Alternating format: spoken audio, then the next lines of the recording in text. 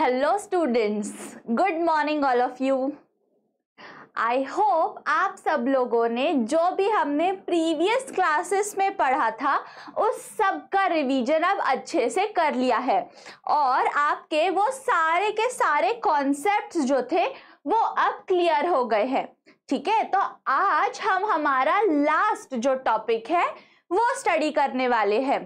तो जो हमारा जब हम टीचिंग एप्टीट्यूड की बात करते हैं which is the first unit of SET या यूजीसी नेट पेपर वन उसका जो पेपर वन जो होता है, उसका फ़र्स्ट यूनिट होता है टीचिंग एप्टीट्यूड उसके लिए हम अभी तक प्रिपरेशन कर रहे हैं ओके तो हमने क्या क्या डिस्कस किया?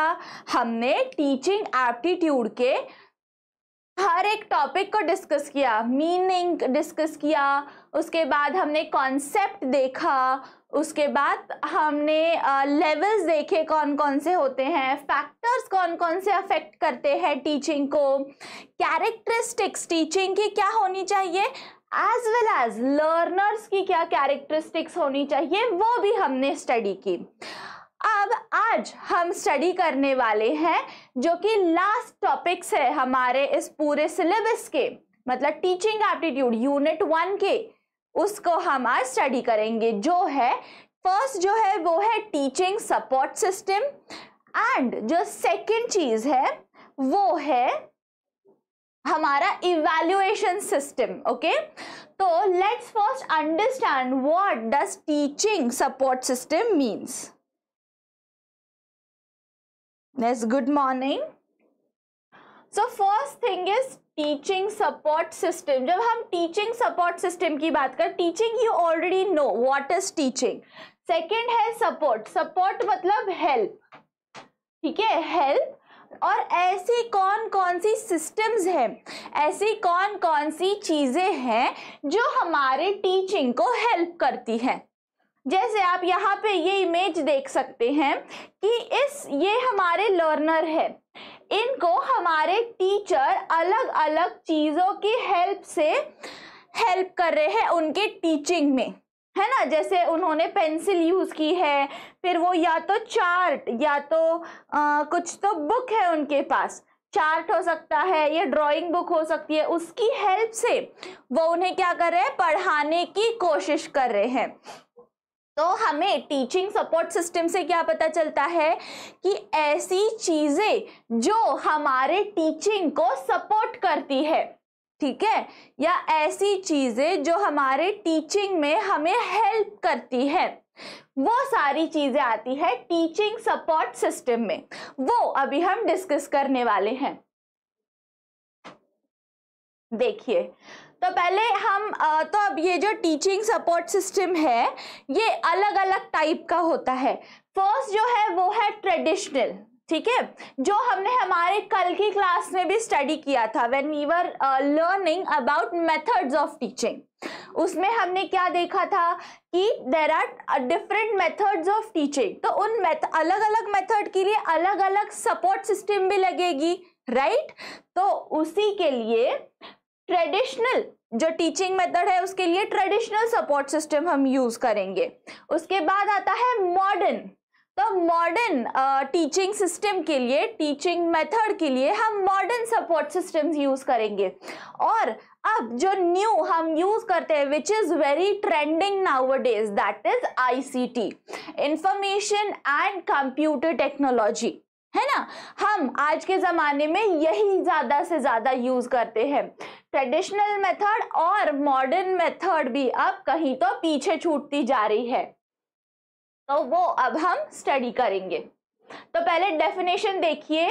Teacher support system is a set of tools that will improve student achievement by building capacity in teachers तो ये क्या होता है? ये हमारे जो स्टूडेंट्स होते हैं और टीचर्स जो होते हैं, उन्हें पढ़ाने में और हमारे स्टूडेंट्स को पढ़ने में हेल्प करते हैं। ऐसी चीज़ें support system teacher support system में आती हैं।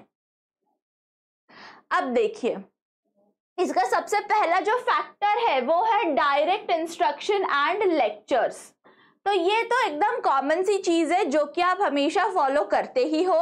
दैट इज़ डायरेक्ट इंस्ट्रक्शन मतलब अगर फ्यूचर में जब आप टीचर बनोगे तो ये आप फॉलो कर सकते हो कि डायरेक्ट इंस्ट्रक्शन डायरेक्ट जो कुछ भी है डायरेक्ट इंस्ट्रक्शंस देना। ये कीजिए, वो कीजिए, ऐसा कीजिए, वैसा कीजिए। और लेक्चर्स देना। मतलब बच्चों को बस पढ़ाना, सिखाना। ठीक है? सेकेंड इज़ सीट वर्क या सिट वर्क कुछ भी कह सकते हो आप इसे। इसमें बच्चों की राइटिंग एंड रीडिंग के लिए जो कुछ भी या अदर कोई वर्क्स होते हैं रीडिंग राइटिंग लिसनिंग इन सारी चीज़ों के लिए जो हेल्प करता है, ऐसे सपोर्ट सिस्टम सीट वर्क में आएँगे। नेक्स्ट देखिए students learn through listening and observing बच्चे कैसे पढ़ना सीखते हैं? थ्रू लिसनिंग एंड ऑब्जर्विंग तो ये ट्रेडिशनल वेज है स्टूडेंट्स ठीक है? ये हमेशा याद रखिए कि ये सारी क्या है? ये सारी ट्रेडिशनल वेज है, जो हमें क्या बताती है कि बच्चे पहले कैसे पढ़ते थे? थ्रू लिसनिंग सुन के. या फिर चीज़ें ऑब्ज़र्व करके। आपने पुराने जो टीचिंग मेथोडोलॉजीज हैं, अगर उनको स्टडी किया होगा तो यू विल बी नोइंग या यू विल नो कि उसमें क्या होता था कि जो टीचर्स होती थी, वो रियल लाइफ बेस्ड एक्सपीरियंसेस से बच्चों को या उनके स्टूडेंट्स को ज़्यादा सिखाने की कोशिश करती थी। इसीलिए स्टूडेंट कैसे सीखते थे? Through listening and observing okay next देखिए नेक्स्ट कौन सा है? लास्ट जो है instruction based on textbooks lectures individual return assignments ठीक है? इसमें कौन कौन सी? जो इंस्ट्रक्शंस होते थे, वो कौन, किस चीज़ों पे बेस्ड होते थे? टेक्स्ट बुक बेस्ड होते थे लेक्चर्स पे बेस्ड होते थे इंडिविजुअल राइटिंग ऑफ़ असाइनमेंट्स कि बच्चे उनकी असाइनमेंट खुद लिखते थे। तो ये सारी चीज़ें ट्रेडिशनल मेथड में आती थी। ट्रेडिशनल टीचिंग सपोर्ट सिस्टम में ये सब कुछ फॉलो किया जाता था। ओके? अब हम देखेंगे कि ट्रेडिशनल जो मेथड्स है, उनमें प्रॉप्स या एड्स, टीचिंग एड्स कौन कौन से यूज़ होते थे। सबसे पहला तो चार्ट है हमारे। चार्ट्स आपने देखे होंगे, जब आप स्कूल में थे तो आपकी क्लासरूम में चार्ट्स लगे होंगे हर जगह। कहीं एबीसीडी का that was depended upon the level of your learning मतलब आप कौन से स्टैंडर्ड में पढ़ रहे हो, उस पर बेस्ड वो चार्ट्स होते थे। अगर आप प्री प्राइमरी में हो तो चार्ट्स लगे होंगे ए बी सी डी के वन टू थ्री फोर के। फिर अलग अलग और पिक्चर्स होंगे बर्ड्स के एनिमल्स के वेजिटेबल फ्रूट्स के, है ना? उसके बाद जब आप बड़े होते गए तो अकॉर्डिंग टू फिर टेबल्स के चार्ट आ गए। वन वन जा वन वन टू जार टू तो इन सब के चार्ट्स फिर लगने लग गए, है ना? फिर, और जब आप और बड़े होते गए तो आपके कोई कॉन्सेप्ट्स होंगी, कोई डिफ़िकल्ट कॉन्सेप्ट होंगी, जैसे रेस्पिरेटरी सिस्टम तो इस तरह के चार्ट्स फिर लगने लग गए। तो उससे क्या हुआ? आप देख देख के वो सारी चीज़ें आपको सीखने मिल गई, है ना? नेक्स्ट आते हैं फ्लैश कार्ड्स ना what do you mean by flash cards it's like a pack of cards pack of cards मतलब जो आपके पत्ते, ताश के पत्ते होते हैं, वैसे ही होते हैं ये फ्लैश कार्ड्स जिसके थ्रू क्या होता है कि एक साइड में आपको पिक्चर दिया गया होगा और उसके अपोजिट साइड में आपको वो उस पिक्चर को क्या कहते हैं, वो दिया गया होगा। उससे क्या होता है कि आपको ये पहले पिक्चर दिखाया जाएगा। व्हाट इज़ दिस गेस और उसके बाद तुरंत ही उसके बैक साइड में ही आपको आंसर भी प्रेजेंट होगा। ठीक है? तो इस तरह के फ्लैश कार्ड्स यूज़ करते थे। नेक्स्ट था पोस्टर्स पोस्टर्स भी थोड़े बहुत चार्ट्स जैसे ही होते हैं, जैसे मान लो सेव वाटर सेव अर्थ का पोस्टर है।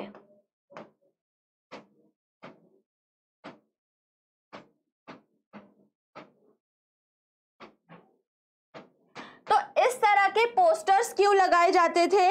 ताकि स्टूडेंट्स को उनकी अहमियत समझ आए, कि वो उससे कुछ तो मैसेज दे पाए। और कुछ ना कुछ उससे सीख पाए, इसीलिए ये पोस्टर्स होते थे। Okay yes Vishal very good morning Madhuri very good morning so posters तक आपको समझ में आ गया, अब हम आगे बढ़ते हैं। नेक्स्ट जो होता था पिक्चर्स एंड फोटोग्राफ्स तो पिक्चर्स एंड फोटोग्राफ्स का क्या यूज़ था? पिक्चर्स कि कोई भी आपको फ़ोटो देके, अब कभी कभी पॉसिबिलिटी है कि आपको कोई चीज़ समझाने के बाद ना समझ आए, लेकिन अगर मैं उस चीज़ का फ़ोटो आपको दिखा दूँ तो वो आपके ब्रेन में अच्छे से फिट हो जाएगी कि हाँ ये फ़ोटो इस पर्टिकुलर चीज़ का है। जैसे मान लो, मैंने अभी यहाँ पे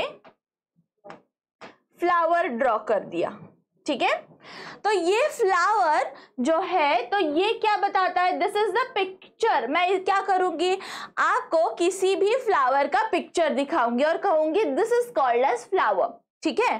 तो आपके माइंड में वो चीज़ अच्छे से फिट हो जाएगी कि ऐसा कोई भी पिक्चर दिखता है या ऐसी कोई भी चीज़ रियल लाइफ में दिखती है तो उन्हें हमें फ्लावर कहना है। ठीक है? So that is more effective way उसके बाद आता है मैप्स और मैप्स को ही कार्टोग्राफी भी कहते हैं। तो अगर स्टूडेंट एग्ज़ाम में आपके कार्टोग्राफी ये वर्ड आए तो घबराइए मत या कंफ्यूज मत होइए कि ये अब कौन से कैटेगरी में आता है। जैसे मान लो आ, कि आपको क्वेश्चन पूछा है एग्ज़ाम में कि कार्टोग्राफी कौन से टाइप का सपोर्ट सिस्टम है तो it is a traditional support system right लेकिन कार्टोग्राफी क्या है, अगर यही नहीं पता होगा तो आप कैसे पहचानोगे? तो कंफ्यूज मत होइए, डरिए मत कार्टोग्राफी मतलब आपके मैप्स होते हैं। जैसे ज्योग्राफी में आपने मैप्स देखे होंगे कि there is a map of India map of world अलग अलग जगह के मैप्स होते थे एंड थ्रू दोज मैप्स आपको पढ़ाया जाता था। तो उन्हीं को क्या कहते हैं कार्टोग्राफी भी कहते हैं। नेक्स्ट देखिए नेक्स्ट है डायग्राम्स डायग्राम्स तो बहुत ही कॉमन सी चीज़ है जो कि आप मैथ्स में ले लीजिए ज्योमेट्री जैसे सब्जेक्ट्स में टॉपिक्स में आप बहुत ज़्यादा डायग्राम्स ड्रॉ करते थे, है ना? या साइंस में भी अगर आपको कुछ भी कॉन्सेप्ट एक्सप्लेन करना हो तो what your ma'am use to tell you draw the diagram of that particular thing है ना? तो diagrams are very common next है ब्लैक बोर्ड और व्हाइट बोर्ड तो this is also one very important support system और you can call it a tool which help student teaching और which help students learning ठीक है? तो उसकी तो blackboard and whiteboard work same तो पहले जो होते थे वो ब्लैक बोर्ड्स होते थे। ब्लैक बोर्ड्स पे व्हाइट चौक से लिखते थे। And then came the whiteboards too जिसके ऊपर हम not the smart boards I am not talking about the smart boards the whiteboards जो सिर्फ़ और सिर्फ़ बोर्ड होता था और उसके ऊपर भी आपको खुद ही लिखना होता था मार्कर से, है ना? तो वो भी आता है ट्रेडिशनल वे में ही आता है। नेक्स्ट देखिए बुलेटिन बोर्ड्स बुलेटिन बोर्ड्स मतलब नोटिस बोर्ड्स हर एक, आप बताइए, क्या आपके स्कूल में कभी आपने देखे हैं बुलेटिन बोर्ड्स क्या आप जानते हो what is a bulletin board बहुत सारे स्कूल्स में बुलेटिन बोर्ड्स होते थे। हमारे स्कूल में भी था। हमारे स्कूल में हर एक क्लास के बाहर बुलेटिन बोर्ड होता था। क्या आपके भी स्कूल में था bulletin board what is this bulletin board क्या होता है? क्या आपने देखा एक bulletin board?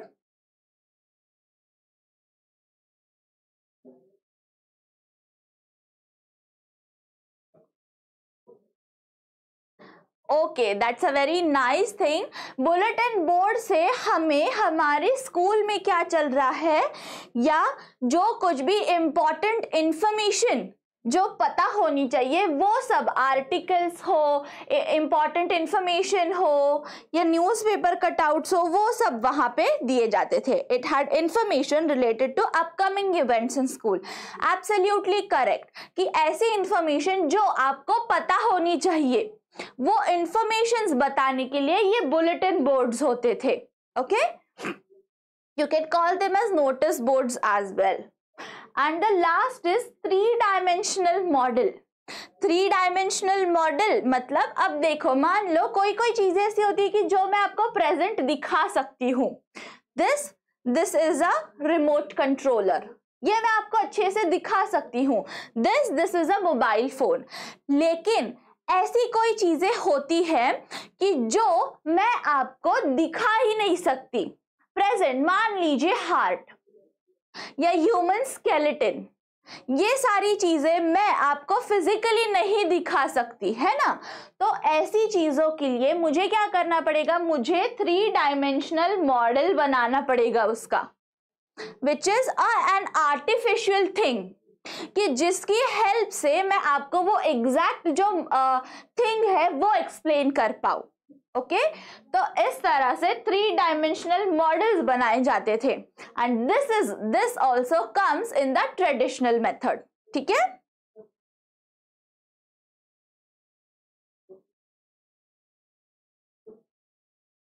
Next next is modern based teaching methods modern based teaching methods हमें क्या बताता है? Modern education approaches based on developmental psychology और alternative education also known as progressive education तो मॉडर्न बेस्ड टीचिंग जो सपोर्ट सिस्टम होता है, ये जो मेथड्स होते हैं, वो किस लिए होते हैं? वो बस आपका डेवलपमेंट कि हमेशा आप ट्रेडिशनल वे में ही नहीं जीते हो।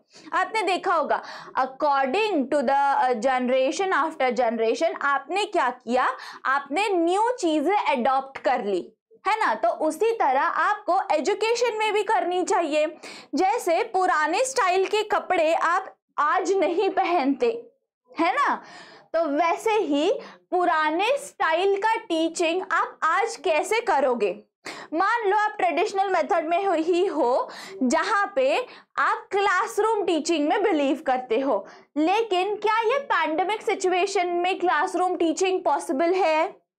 नहीं है। तो आपको क्या करना पड़ेगा? आपको मॉडर्न जो वे ऑफ़ टीचिंग है, वो अडॉप्ट करना पड़ेगा। जिसमें आपको क्या पता चलेगा कि जो कंप्यूटर थ्रू जो टीचिंग होगा, वो आपको अडॉप्ट करना पड़ेगा। अब अगर आपके पास बुक अवेलेबल नहीं है okay and the markets are also close तो आपको बुक कैसे मिलेगी? तो आपकी पढ़ाई तो रुक जाएगी राइट right? लेकिन अगर आप मॉडर्न सपोर्ट सिस्टम पे बेस्ड अगर पढ़ाई करना चालू करते हो तो आप घर बैठे कहीं पे भी कुछ भी पढ़ सकते हो राइट right? तो इसीलिए मॉडर्न जो बेस्ड टीचिंग मेथड्स है या सपोर्ट सिस्टम्स है, वो किस लिए होती है? आपके प्रोग्रेस के लिए होती है। आपके डेवलपमेंट के लिए होती है। नेक्स्ट देखिए, इसमें कौन कौन सी चीज़ें आती है? हैंड्स ऑन एक्टिविटीज़ मतलब ट्रेडिशनल मेथड में ये सारा नहीं होता था, बस लेक्चर मेथड फॉलो होती थी कि टीचर लेक्चर देते थे और स्टूडेंट टीचर को सुनते थे। बाद में टीचर्स को या एजुकेशन सिस्टम को यह रियलाइज़ हुआ कि स्टूडेंट का इन्वॉल्वमेंट भी इंपॉर्टेंट है। इसीलिए क्या स्टार्ट हुआ? Hands on activities hands on activities मतलब आपने देखा होगा आजकल के छोटे छोटे बच्चे ऐसे ब्लॉक्स ब्लॉक्स ब्लॉक्स सब जोड़ के चीज़ें बनाते हैं। गेम्स बनाते हैं, या उनके पास ब्लॉक्स होते हैं। ए ए के बाद बी ब्लॉक लगाना होता है, बी के बाद सी लगाना होता है। और उससे वो कुछ तो थिंग बनाते हैं, कुछ तो टॉय बनाते हैं राइट right? या ओरिगामी ओरिगामी के बारे में आपने सुना होगा पेपर की बनी हुई चीज़ें। पेपर फोल्ड करके चीज़ें बनाना हमें सिखाते थे स्कूल में। ये सारी चीज़ें आती है हैंड्स ऑन एक्टिविटीज़ जो आप आपके खुद के हाथों से बनाते हो, ठीक है? तो ऐसी चीज़ें आती है फिर मॉडर्न सपोर्ट सिस्टम में ओके नेक्स्ट देखिए स्टूडेंट लेड डिस्कवरी तो मॉडर्न जो सपोर्ट सिस्टम में क्या हुआ कि बच्चे अलग अलग चीज़ों की डिस्कवरी करने लग गए। Right right? जैसे अगर मैं इसमें ये कर दूँगा, ये मिला दूँगा तो ये नया चीज़ बन जाएगी उससे, है ना? तो बच्चे क्या करने स्टूडेंट्स क्या करने लग गए? नई डिस्कवरीज करने लग गए। जैसे आपको भी आपके स्कूल में होते होंगे साइंस प्रोजेक्ट्स या साइंस एग्जिबिशंस उसमें आपको खुद का कुछ तो मॉडल बनाना होता था। तो वो मॉडल आप कैसे बनाओगे, कैसे बनाते? जब आप क्यों कुछ तो नया डिस्कवरी करोगे, है ना? उसमें उसी नई डिस्कवरी आप कुछ कर पाओ। इसीलिए तो वो साइंस प्रोजेक्ट्स होते थे। ओके? लेकिन यही चीज़ अगर आप ट्रेडिशनल मेथड में देखोगे तो ये कुछ नहीं होता था। बस टीचर किसी बुक में से पढ़ाती थी और आपको पढ़ना होता था। लेकिन मॉडर्न में थोड़े से चेंजेस हो गए और आप खुद डिस्कवरीज करने लग गए नई नई चीज़ों की। ठीक है? नेक्स्ट है ग्रुप एक्टिविटीज़ ग्रुप एक्टिविटीज़ भी आपको ऑलरेडी पता है कि ग्रुप में कुछ भी आपको करने कहा जाता था। वो। नेक्स्ट है project based instructions using any available resource including libraries and outside experts ठीक है तो बाद में क्या हुआ जैसे अभी आपके कॉलेजेस में आपने देखा होगा विजिटिंग फैकल्टीज आती हैं या गेस्ट लेक्चर्स होते हैं राइट right? तो आपके स्कूल के कॉलेज के टीचर तो आपको पढ़ाते ही है और आपको एक्स्ट्रा इंफॉर्मेशन मिले। आपको एक्स्ट्रा नॉलेज मिले इसीलिए आउटसाइड एक्सपर्ट्स भी आते हैं। जो आ, मतलब आपके टीचर्स जानते हैं कि मैं शायद इतने अच्छे में नहीं बता पाऊँगा ये कॉन्सेप्ट लेकिन ये जो आउटसाइड एक्सपर्ट है ये आपको वो चीज़ ज़्यादा अच्छे से बता पाएँगे। इसीलिए वो उनका गेस्ट लेक्चर कर रखते हैं आपके लिए राइट तो ये चीज़ें इंक्लूड होती गई। प्रोजेक्ट बेस्ड इंस्ट्रक्शंस होते गए यूजिंग एनी अवेलेबल रिसोर्स कि ऐसे प्रोजेक्ट्स बनाने के लिए कहा गया आपको कि आप लाइब्रेरी की हेल्प से या किसी भी और, जैसे आपको कहा जाता था, आप इंटरनेट की हेल्प ज़रूर लीजिए, लेकिन आपका खुद का कुछ तो प्रोजेक्ट बनाइए, है ना? तो आपको रिसोर्सेस प्रोवाइड किए गए और लेकिन आपको खुद का कुछ तो बनाने कहा गया, जिसमें आपका इन्वॉल्वमेंट बहुत ज़्यादा हो।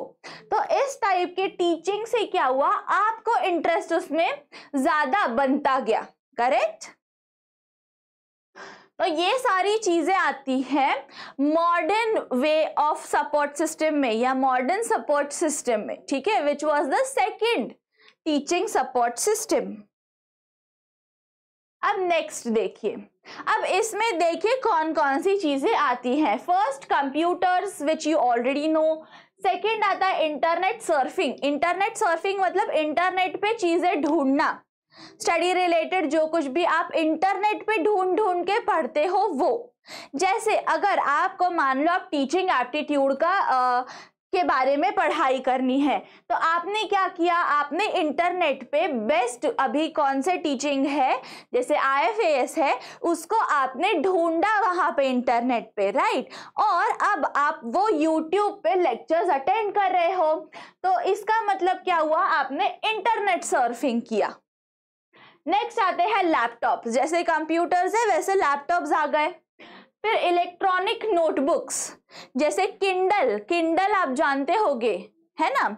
या टैब्स जो, जो होते हैं वो इलेक्ट्रॉनिक नोटबुक जैसे वर्क करते हैं। ऑनलाइन एनसाइक्लोपीडिया पहले एनसाइक्लोपीडिया की बुक आती थी जिसमें आपको पूरे वर्ल्ड में क्या चल रहा है वो उस बुक में होता था ठीक है? तो अब वो ऑनलाइन भी प्रेजेंट होता है आपको। नेक्स्ट है पिक्चर डिक्शनरी पिक्चर डिक्शनरीज मिलती है, जिसमें आपको सिर्फ़ पिक्चर्स दिए गए होते हैं उसके सहारे से आप नए नए वर्ड्स नए नए कॉन्सेप्ट सीखते हो। उसके बाद PPT which is very common thing that we all use that is PowerPoint presentation PowerPoint presentation भी हम हमारे डे टू डे लाइफ में आजकल यूज़ करते हैं। मतलब आप बताइए, क्या ट्रेडिशनल सपोर्ट सिस्टम फॉलो करते हैं या मॉडर्न सपोर्ट सिस्टम फॉलो करते हैं? क्योंकि हम तो अगर आप देखोगे, आप क्या थोड़ा सा ध्यान दोगे तो आपको पता चलेगा कि हम तो यही सारी चीज़ें फॉलो कर रहे हैं अभी। हम कंप्यूटर्स या लैपटॉप्स यूज़ करते हैं, हम इंटरनेट सर्फिंग भी करते हैं। कोई कोई लोग इलेक्ट्रॉनिक नोटबुक्स भी यूज़ करते होंगे, ऑनलाइन एनसाइक्लोपीडिया पढ़ते हैं। राइट? तो हम मॉडर्न एब्सोल्युटली करेक्ट हम तो मॉडर्न सपोर्ट सिस्टम पे बिलीव करते हैं। उसके बाद एजुकेशनल सीडीज एंड डीवीडीज आजकल क्या आपने आ, आपके कोई रिलेटिव्स होंगे या आपने क्या आपने आजकल के जो छोटे बच्चे हैं उनकी बुक्स देखी है? टेक्स्ट बुक्स जो उनको मिलती है उसमें आपने देखा होगा कि एक सीडी अटैच होती है। बुक के अंदर ही उन, उन्होंने एक सीढ़ी दी गई होती है उनको, बच्चों को। उस, वो सीढ़ी क्यों दी गई होती है? यही सब सोच के उन्होंने एनालिसिस किया है केस स्टडी किया है ओवरऑल स्टडी पैटर्न का। कि मॉडर्न बच्चे ज़्यादा से ज़्यादा इन सी या डीवीडी से पढ़ते हैं आजकल। इसीलिए बुक के साथ साथ वो सीडी भी देते हैं कि अगर बुक से बच्चे को नहीं समझ आया तो वो शायद सीडी या डीवीडी देख के उस बात को अच्छे से समझ ले। ठीक है?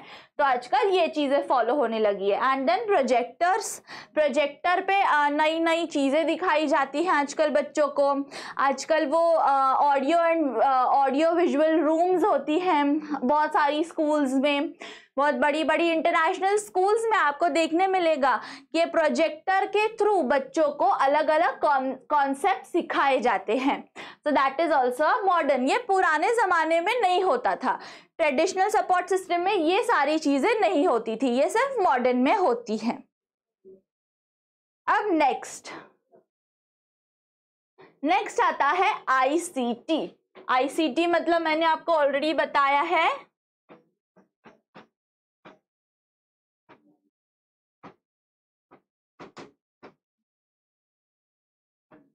इंफॉर्मेशन एंड कम्युनिकेशन टेक्नोलॉजी भी कह सकते हो या फिर कंप्यूटर टेक्नोलॉजी भी कह सकते हो।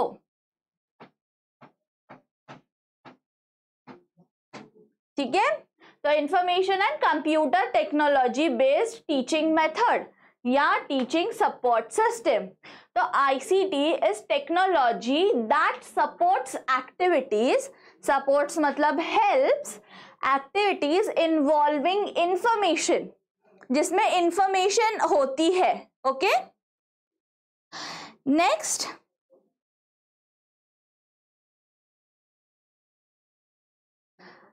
उसके बाद such activities include gathering processing ठीक है? फिर स्टोरिंग एंड प्रेजेंटिंग डेटा ठीक है? उसके बाद increasingly these activities also involve collaboration and communication ठीक है? तो ये सारी चीज़ें आती है आईसीटी में। आईसीटी बेस्ड टीचिंग मेथड में। आईसीटी बेस्ड मतलब जहाँ पे इंफॉर्मेशन एंड कंप्यूटर टेक्नोलॉजी के बारे में हम पढ़ रहे हैं, सीख रहे हैं, उसमें ये सारी चीज़ें आती हैं। Activities include gathering processing storing and presenting हम इंफॉर्मेशन गैदर करते हैं यहाँ पे। फिर हम प्रोसेस करते हैं, फिर स्टोर करते हैं and then we present clear तो ये सारी चीज़ें इसमें इन्वॉल्व होती है। अब देखिए कि टीचर का फोकस आईसीटी पे क्यों है। सबसे पहली चीज़ आप देख सकते हो, जैसे offers new ways of teaching the same things तो सेम चीज़ एक्सप्लेन करने के लिए सेम चीज़ अगर आपको नए वे में स्टूडेंट को बतानी हो तो आईसीटी हेल्प करता है। Next enables a focus on each and every child learner and styles क्या करता है ये? Enables it enables and it focuses enables a focus on each and every child है ना? तो this is also very good thing हर एक student के focus पे वो ध्यान दिया जाता है। Then saves time in lesson planning and administration तो कंप्यूटर की हेल्प से हम हमारा बहुत सारा टाइम सेव कर सकते हैं which is also very good thing उसके बाद offers a more comprehensive approach to assessment comprehensive मतलब बहुत ज़्यादा अंडरस्टैंडिंग बेस्ड अप्रोच हम हमारे लर्निंग को दे सकते हैं या जो भी हम असेसमेंट ले रहे हैं बच्चों का या जो भी हम असाइनमेंट्स बच्चों को असाइन कर रहे हैं, उसका बहुत ही कॉम्प्रिहेंसिव अप्रोच हो सकता है। And the last thing is that reduces bureaucratic burden on teachers है ना ब्यूरोक्रेटिक बर्डन मतलब क्या होता है स्टूडेंट्स कि टीचर पे जो कुछ भी आ, कुछ चीज़ों का बर्डन जो आता है मतलब आ, टीचर को जो कुछ भी चीज़ें बहुत डिटेल में करनी पड़ती थी, सब कुछ टीचर को खुद को करना पड़ता था। वो बर्डन अब टीचर से थोड़ा कम हो गया है, क्योंकि वो अब कंप्यूटर का सहारा ले सकते हैं, है ना? तो ये चीज़ें इन सारे, इन five this is one two three four and five ये फाइव फैक्टर्स हम, हमारे टीचर्स को अब बहुत ज़्यादा हेल्प करता है। किस चीज़ में हेल्प करता है? टीचिंग में हेल्प करता है। ओके तो ये सारे फैक्टर्स हमें आईसीटी बेस्ड टीचिंग के लिए बहुत ज़्यादा उसकी तरफ़ लेके जाते हैं। तो ये तो हो गया अब टीचिंग सपोर्ट सिस्टम के बारे में। Now we will move ahead with our next topic that is the evaluation system which is the last thing we need to do अब अब आपको पता चल गया है कि सब मेथड्स फॉलो कर ली, हमने उसके लिए सपोर्ट सिस्टम यूज़ कर लिए लेवल्स देख ली, सब कुछ। अब टीचिंग एप्टीट्यूड अब आपको क्या करना है? अब अपने बच्चों को पढ़ा लिया। हर एक तरीके से उनको आपकी इंफॉर्मेशन प्रोवाइड कर दी। नॉलेज जो था आपको देना था, वो तो आपने दे दिया। अब आपको क्या करना है? बच्चों का इवेल्युएशन करना है। अब आपको चेक करना है, क्या जो कुछ आपने उनको पढ़ाया, वो उनको समझ आया? सेकेंड चीज़, उनको कितना समझ आया?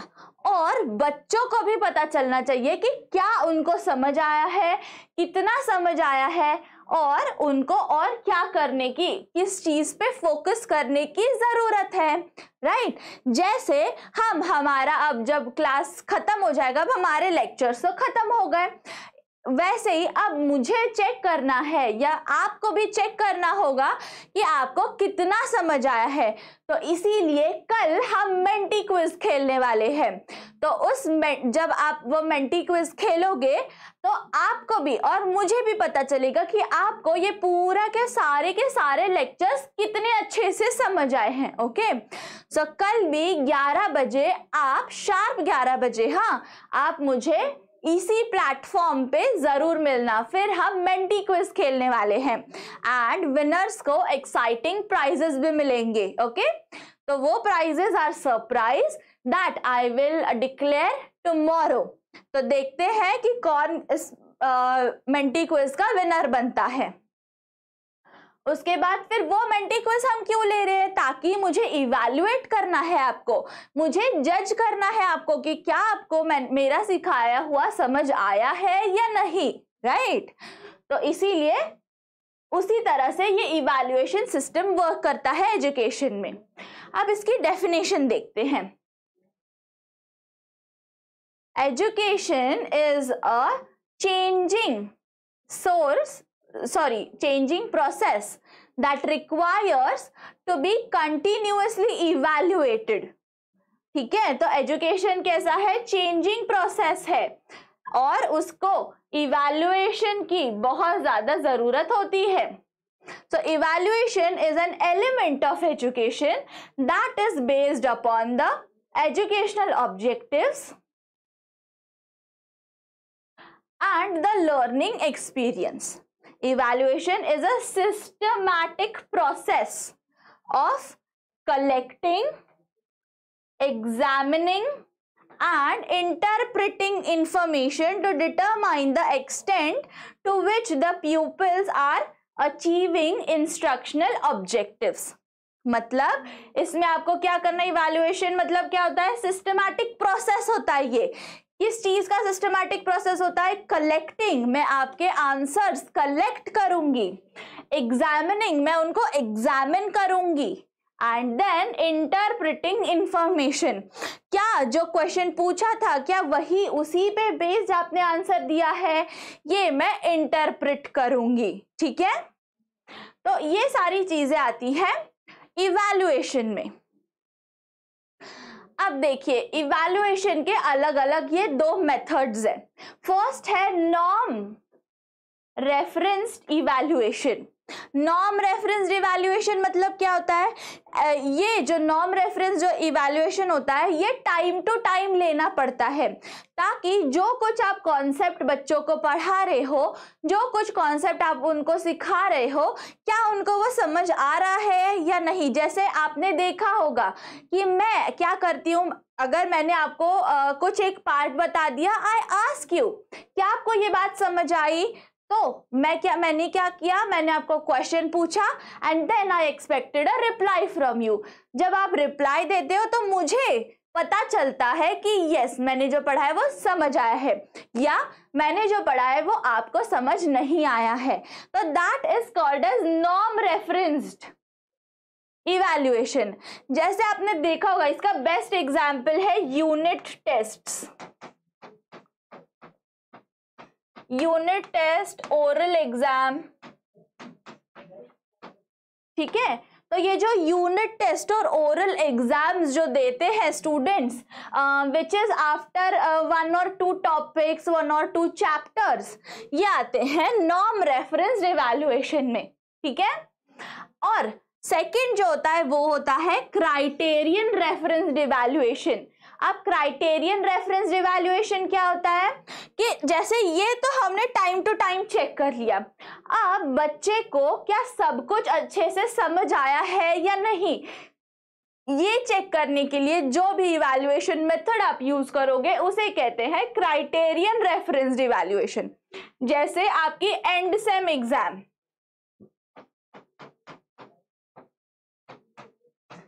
end semester exam होती है ना आपकी कॉलेजेस में? ये, या एनुअल एग्ज़ाम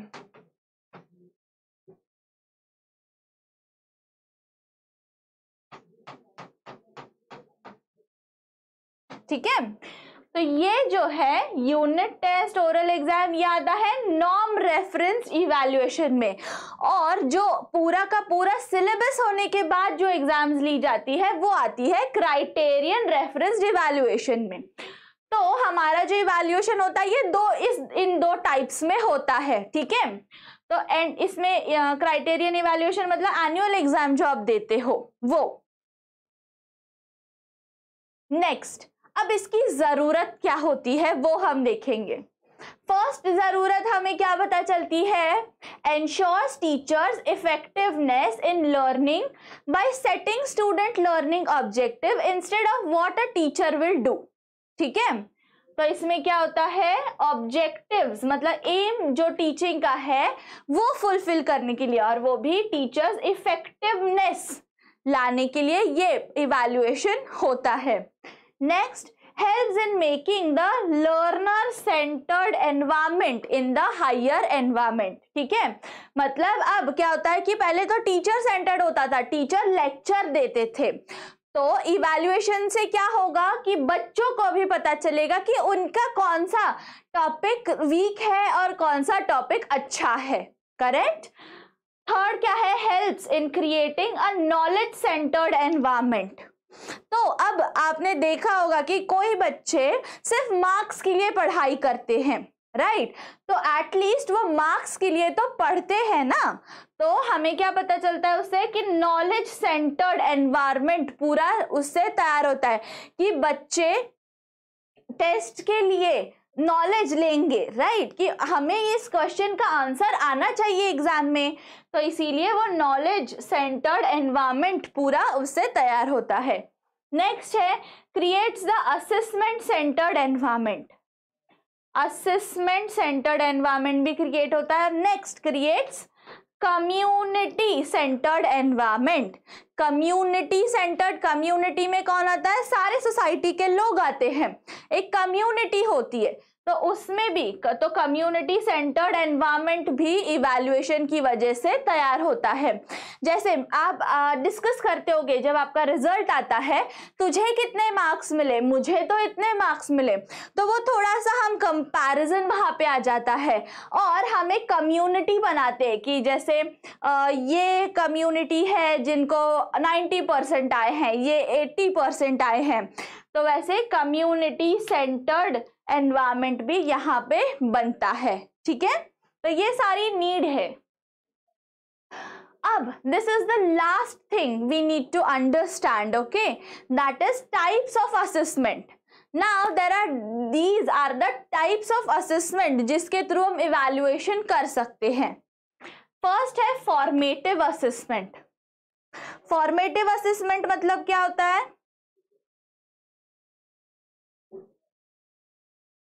तो this is also similar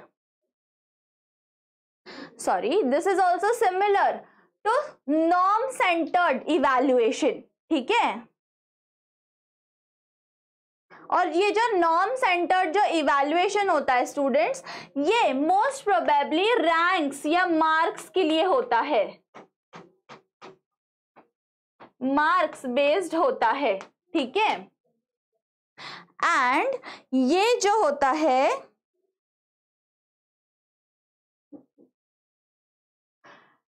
ये क्राइटेरियन रेफरेंस जो इवैल्यूएशन होता है, ये पूरी तरह से आपके करेक्ट आप कितने करेक्ट आंसर्स देते हो, उस पे बेस्ड होता है। मतलब ये थोड़ा सा नॉलेज सेंटर्ड होता है।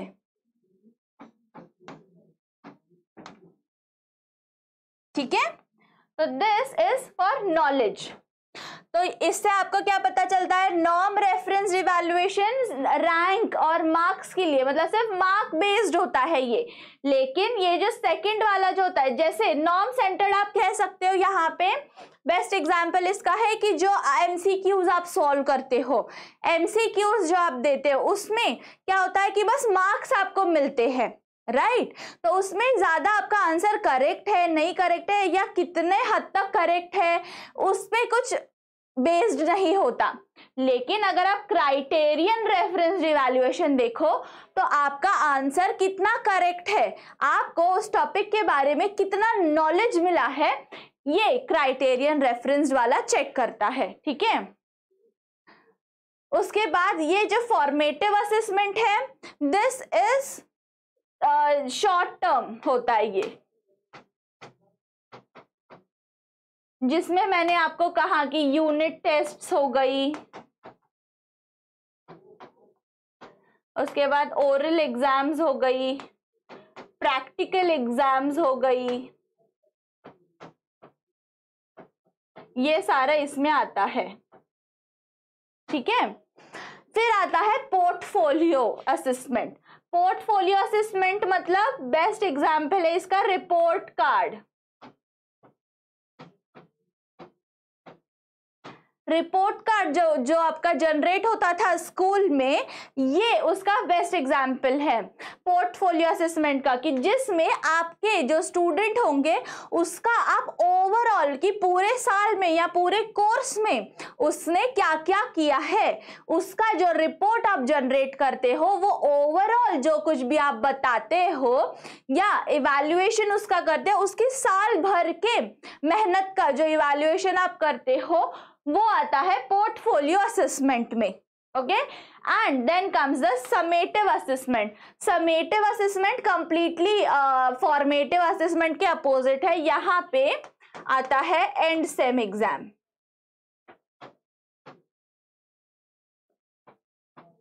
end semester या एनुअल एग्ज़ाम ठीक है?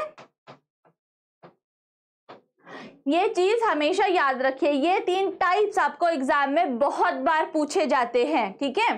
तो ये आपको पता होने बहुत इंपॉर्टेंट है। अब नेक्स्ट एक एक और ये जो पॉइंट है, ये भी बहुत इंपॉर्टेंट है that is choice based credit system ठीक है? तो चॉइस बेस्ड क्रेडिट सिस्टम मतलब क्या होता है? चॉइस बेस्ड क्रेडिट सिस्टम मतलब यहाँ पे आप, आपके कोर्सेज आपको क्या पढ़ना है, क्या नहीं पढ़ना है, वो आप चूज़ कर सकते हो। जैसे आपने देखा होगा कि आपके ट्वेल्थ स्टैंडर्ड तक आप ये चूज़ या मान लो टेंथ स्टैंडर्ड तक, आप ये चूज़ नहीं कर सकते। उसके बाद आपको थोड़ा सा मौका मिलता है कि तीन स्ट्रीम में से एक स्ट्रीम चूज़ करने का। जैसे मान लो आर्ट्स हो कॉमर्स हो या साइंस हो। उसके बाद आपके जब आप ग्रेजुएशन के लिए जाते हो, तब आपको क्या मिलता है? और थोड़ा फ्रीडम मिलता है आपके सब्जेक्ट चूज़ करने का राइट तो उसी को कहते हैं चॉइस बेस्ड क्रेडिट सिस्टम तो जब वो आप चूज़ करते हो तो आपको, आप जो चूज़ करते हो सब्जेक्ट उसके बेसिस पे आपको क्रेडिट मिलते हैं। ठीक है? अगर आप सावित्री बाई फुले यूनिवर्सिटी से अगर आपने आपका एजुकेशन कुछ भी किया होगा तो you might know very well कि ये क्रेडिट बेस्ड सिस्टम कैसे वर्क होता है। आपको आपके मार्क्स के बेसिस पे जो भी आपने मार्क्स लाए हैं, उसके बेसिस पे आपको क्रेडिट्स दिए जाते हैं। ठीक है? और वो क्रेडिट सिस्टम कहते हैं चॉइस बेस्ड क्रेडिट सिस्टम आप आपके सब्जेक्ट चूज़ कर सकते हो कि आपको एग्जैक्टली exactly पढ़ना क्या है। ठीक है? तो यहाँ पे देखिए आउटलाइन क्या होती है चॉइस बेस्ड क्रेडिट सिस्टम की? एक, ये आपका कोर सब्जेक्ट होता है, ठीक है? ये आप चेंज नहीं कर सकते। This remains as it is this is a compulsory paper जैसे आपका टीचिंग एप्टीट्यूड का है। Teaching aptitude is a compulsory paper वो आप चेंज नहीं कर सकते। सेकेंड है इलेक्टिव कोर्सेस ये कोर्सेस आप खुद इलेक्ट कर सकते हो। मतलब you have the authority to choose दो सब्जेक्ट अब वो आप कौन कौन से बेसिस पे चूज़ कर सकते हो? पहला जो है वो डिसिप्लिन स्पेसिफिक इलेक्टिव कोर्स आप चूज़ कर सकते हो। डिसिप्लिन डिसिप्लिन स्पेसिफिक मतलब जो आपको uh, मान लो कि आप इंग्लिश चूज़ करते हो।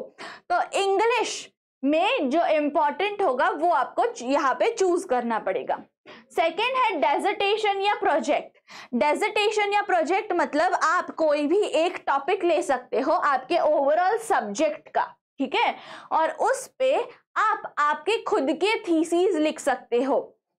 जैसे पीएचडी में होता है, आप रिसर्च करते हो सिमिलर कम्स अंडर डेजर्टेशन आप एक पेपर आपका खुद का लिखते हो यहाँ पे, या प्रोजेक्ट बनाते हो खुद का। और उसके बेसिस पे आपको मार्क्स दिए जाते हैं। नेक्स्ट है जेनेरिक इलेक्टिव कोर्सेस जो जेनेरिक इलेक्टिव कोर्सेज होते हैं, ये आप आपके सब्जेक्ट के बाहर के भी आप यहाँ पे चूज़ कर सकते हो। ठीक है? नेक्स्ट देखो थर्ड जो है पॉइंट ये एबिलिटी एनहांसमेंट कोर्सेज जैसे ये जेनरिक इलेक्टिव मान लो कि इंग्लिश है इंग्लिश के साथ साथ आपको कोई और लैंग्वेज पढ़ने का भी शौक है। जैसे जर्मन है जापनीज़ है या फ्रेंच है, ऐसा आपको एक और कोई इंग्लिश के साथ एक और लैंग्वेज सीखनी है। तो आप क्या कर सकते हो यहाँ पे? आप वो एक और कोई भी उसमें का सब्जेक्ट चूज़ कर सकते हो। ठीक है? नेक्स्ट नो सॉरी जूम पे मैं नहीं पढ़ाती। आप हमारा आईएफएएस का कोर्स बाय कर सकते हो, जहाँ पे मैं ये सारे कॉन्सेप्ट और डिटेल में आपको एक्सप्लेन करती हूँ। यहाँ पे क्या हो जाता है? हमारे पास टाइम कम होता है। इसीलिए मुझे बहुत ही फास्ट पढ़ाना पड़ता है आपको। लेकिन अगर आप आई एफ़ ए एस का कोर्स बाय करते हो टीचिंग एप्टीट्यूड का, वहाँ पे ये सारे कॉन्सेप्ट मैंने और डिटेल में एक्सप्लेन किए गए हैं। दैट यू कैन परचेस आपको लिंक ऑलरेडी दी गई है। आप उस पर विज़िट कीजिए या हमारे वेबसाइट पे भी आप विज़िट कर सकते हैं which is W W W dot I F A S online dot com okay वहाँ पे मैं ज़रूर पढ़ाती हूँ। नेक्स्ट तो ये जैसे मैंने आपको कहा जेनेरिक इलेक्टिव कोर्स जो होता है, वो उसका क्या हेल्प होती है कि आप एक्स्ट्रा कुछ पढ़ सकते हो। आपके सब्जेक्ट के साथ आप एक्स्ट्रा कोई भी सब्जेक्ट और चूज़ कर सकते हो। और लास्ट जो है एबिलिटी एनहांसमेंट कोर्सेस जैसे आपने देखा होगा कि आप एनसीसी एनएसएस या कोई भी स्पोर्ट्स के जो कोर्सेज होते हैं, वो आप ले सकते हो यहाँ पे। एबिलिटी एनहांसमेंट मतलब आपकी जो भी एबिलिटी होगी, मान लो आपको चेस बहुत अच्छा खेलने आता है, लेकिन आपके पास उसके लिए कोई सर्टिफिकेशन नहीं है, आपको उसके रूल्स नहीं पता, बस आपको खेलना पसंद है। तो एबिलिटी एनहांसमेंट कंपलसरी कोर्सेज में आप ऐसा कोई भी एक कंपलसरी कोर्स सिलेक्ट कर सकते हो। वो पूरा कोर्स कंपलसरी आपको एक सिलेक्ट करना पड़ेगा या फिर आप स्किल एनहांसमेंट कोर्स भी ले सकते हो, जिससे आपकी स्किल्स एनहांस होंगी। स्विमिंग ले लो, ऐसे बहुत सारे कोर्सेस मिलते हैं। ये mostly out of India prefer किया जाता है।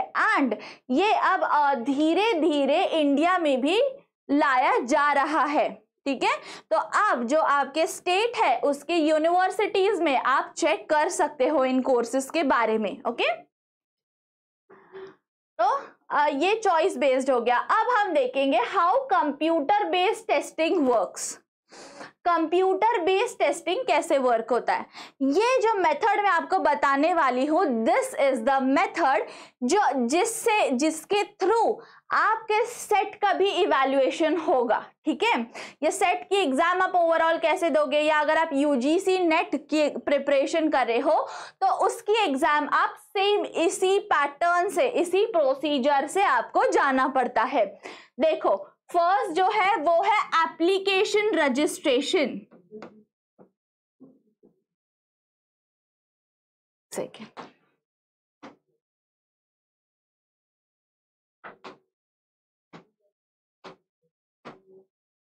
ये जो है, ये है एप्लीकेशन रजिस्ट्रेशन पहले आपको क्या करना पड़ता है?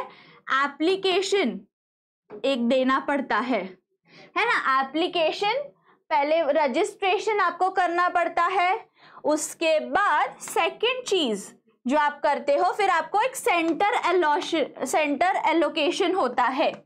यहाँ पे आपको क्या मिलता है? सेंटर एलोकेट होता है। सेंटर, फिर आपको एक बताया जाता कि इस सेंटर पे आप आपकी एग्ज़ाम दे सकते हैं। उसके बाद होता है आपका एडमिट कार्ड जनरेट होता है।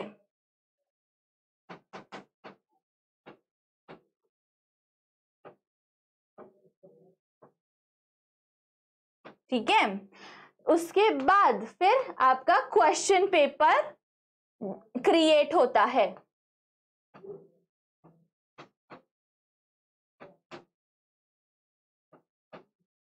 Question paper creation. ठीक है? उसके बाद जो नेक्स्ट स्टेप है, वो है टेस्ट ऑन कंप्यूटर फिर आप क्या करते हो? आप उस सेंटर में जाते हो और आप टेस्ट देते हो। फिर आप टेस्ट देते हो आपकी।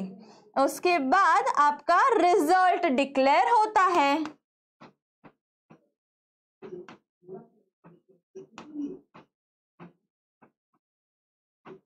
फिर आपका होता है रिज़ल्ट डिक्लेरेशन ठीक है? फिर तब उससे आपको पता चलता है कि आपने कितने मार्क्स स्कोर किए हैं। तो ये पूरा बेस्ड होता है कंप्यूटर बेस्ड होता है ये, ठीक है? तो इसी तरह से आप आपके सेट की या यूजीसी नेट की भी एग्ज़ाम दोगे। तो यू कैन अब आपको पता होगा कि आप ऑलरेडी ये फॉर्म्स ओपन हो चुके हैं रजिस्ट्रेशन के लिए सेट के लिए। तो आप एम एस सेट के लिए अगर आप प्रिपेयर कर रहे हो तो आप उनके फॉर्म फिल कर सकते हो। फिर आपको सेंटर अलॉट हो जाएगा, उसके बाद आपका एडमिट कार्ड जनरेट हो जाएगा, जिसे हॉल टिकट भी कहते हैं। फिर आपका क्वेश्चन पेपर जनरेट होगा। फिर आप टेस्ट दोगे, आपकी एग्ज़ाम दोगे मतलब आप और फिर आपका, आपको थोड़े दिनों बाद रिज़ल्ट मिल जाएगा। तो आप देखिए, अगर आप अपियर करना चाहते हैं तो this is the right time और आपको तो पढ़ाई भी आपकी बहुत अच्छे से हो गई है। आपको सारे कॉन्सेप्ट भी पता चल गए हैं पेपर वन के। तो आप ज़रूर अप्लाई कर सकते हो, ठीक है? तो अप्लाई कीजिए और बहुत अच्छा स्कोर कीजिए उसमें। तो that was all about teaching aptitude जो हमारा यूनिट वन था। ठीक है? तो मैं कुछ ही दिनों में जल्द से जल्द आपके लिए बाकी के यूनिट के लिए भी लाइव लेक्चर्स ज़रूर लेके आऊँगी। लेकिन तब तक आपको क्या करना है? जो कुछ भी अब तक इस पूरे लेक्चर सीरीज़ में टीचिंग एप्टीट्यूड रिलेटेड हमने जो पढ़ा है, वो आपको रिवाइज करना है, ठीक है? और अगर आपको किसी भी चीज़ में डाउट आते हैं, कुछ भी आते हैं तो आप मुझे कमेंट ज़रूर कर सकते हैं and I will help you out with it और अगर आप ये सारे के सारे कॉन्सेप्ट डिटेल में स्टडी करना चाहते हैं तो आप हमारे कोर्स ऑनलाइन क्लासेस हमारे बाय कर सकते हैं, जहाँ पे मैं आपको लाइव आके पढ़ाती हूँ ओके और ये सारे कॉन्सेप्ट्स आपको डिटेल में भी स्टडी करवाती हूँ। उसके बाद एक और चीज़ जो मैं आपको बताना चाहूँगी before we end this session that कल आपको 11 बजे आना है फॉर द मेंटी क्विज आपको मेंटी क्विज खेलनी है और एक्साइटिंग प्राइजेस भी जीतने हैं। उससे आपको आप, अगर आप विनर भी नहीं होते हो तो भी आपको एटलीस्ट पता चलेगा कि आपकी प्रिपरेशन कहाँ तक पहुँची है ओके और आपको कितनी करने की ज़रूरत है। तो इसीलिए कल आइए, ज़रूर आपके फ्रेंड्स को भी लेके आइए। उनके साथ भी लिंक शेयर कीजिए और सभी मिलके मेंटी क्वेस्ट सॉल्व कीजिए okay so let's meet tomorrow then bye bye have a good day